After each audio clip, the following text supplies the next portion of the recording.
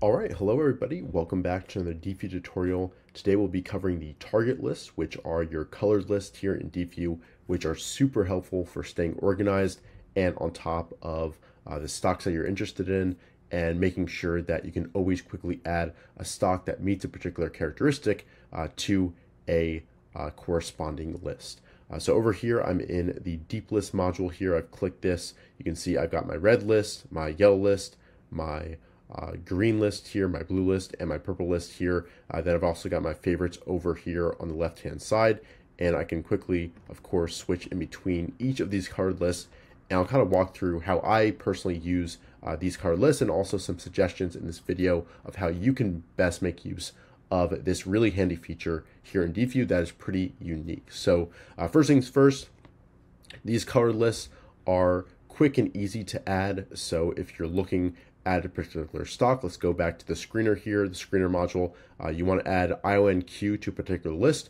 What you want to do is click the logo here, and then you can quickly add it to any of the lists right here, or you can also uh, not, you know, take it out of a target list, or once again, add it to any of the lists um, by either clicking here, or once again, you can easily switch it to the yellow list here, and you can go ahead and move it using that. And you can see that right around the logo, this is now golden, this is now yellow, and you can see a few other names down here which have uh, a colored list. If you scroll through, uh, you've got Uber here, which is in my green list, uh, Z as well. Uh, so it's really handy as you're going through screen results, other watch lists, uh, to stay on top of, you know, what is where and just provide, you know, a visual indication of how you've sorted the stocks.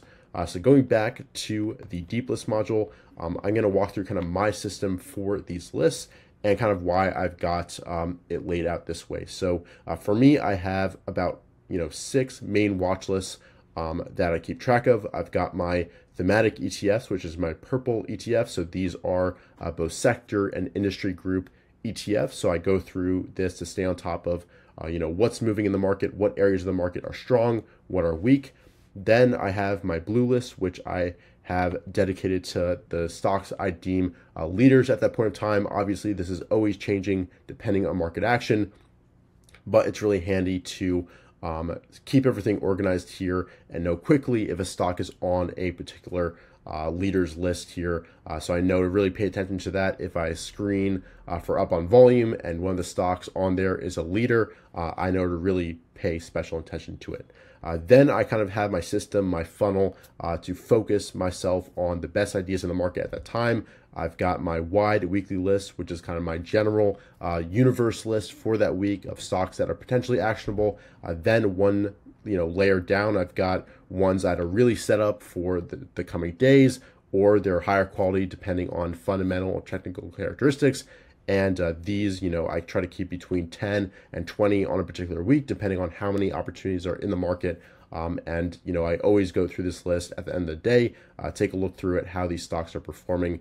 And then the last layer is on a particular day, I have my daily focus list, which on that day, these are the most actionable, uh, the, the stocks I'm most interested in watching their action to judge the market health, market conditions. Uh, they're really near a potential breakout, um, and they're the ones I'm looking to potentially buy um, on that particular day.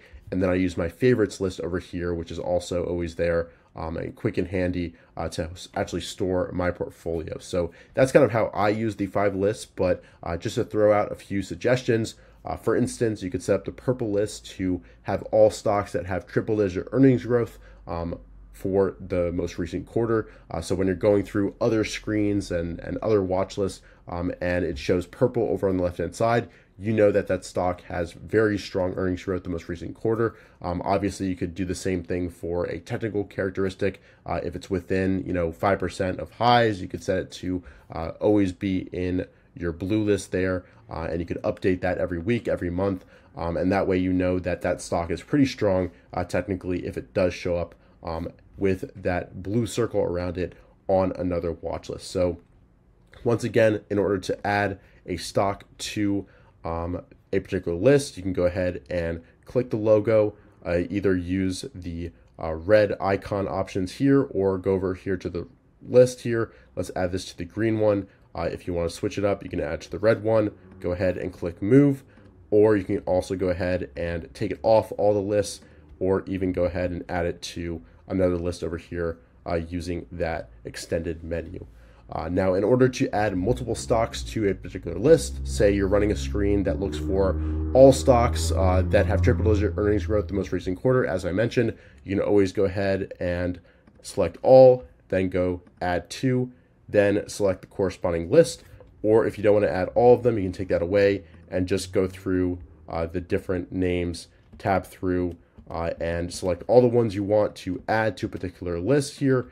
And once again over go over here to add to and then pick the corresponding watch list. So um, in essence the target list the color list here are designed to help you stay organized. And they basically allow you to very quickly and easily add a stock to a particular watch list in two clicks um, and you know help keep you organized which is the name of the game that helps you execute better uh, and uh, you know, I think this is a really handy feature that a lot of people can uh, find amazing ways to use. So let us know uh, how you're using the target list down below in the comment section. Um, and uh, thanks for watching. I hope you I answered all your guys' questions, but if you have any others, uh, let us know down below. And with that, thanks for watching, and I'll see you guys in future tutorials. Take care.